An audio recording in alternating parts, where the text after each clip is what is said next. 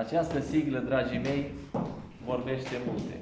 Cineva, pe sfârșitul uh, anilor 90, spunea Botoșanul este județul celor patru puncte cardinale.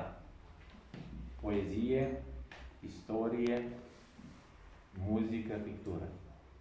Rădăcinile sunt puternice. Ne rugăm lui Dumnezeu să fim o turbină, adică toți împreună, în așa fel încât roadele, crengele să fie multe, variate, frumoase, aducătoare de bucurie. Să ne rugăm. Facem aici rugăciunea, după aceea